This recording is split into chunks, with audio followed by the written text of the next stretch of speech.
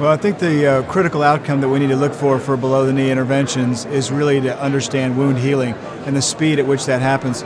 Most of the trials that have been done have looked at limb salvage, which is the endpoint that the patients care about is their limb on or not.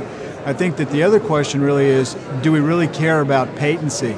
In the past, because patency has been so low in the low, below the knee interventions that we really haven't focused on it. I think if we had the ability to have a procedure where patency was paramount, we probably would see that wound healing would be much faster and probably much better. So the combination of patency along with wound healing would be probably the best option that we would have.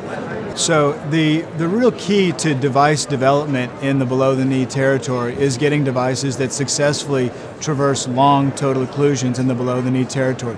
These are typically diffuse or occlusive, usually calcified lesions, and the success rate is really determined by the ability to get through the vessel. So good wires, especially stiff, torqueable wires that get you through a total occlusion, some devices that get you through total occlusions with staying in the intraluminal space. This is not a territory like the SFA where a subintimal approach is probably as good.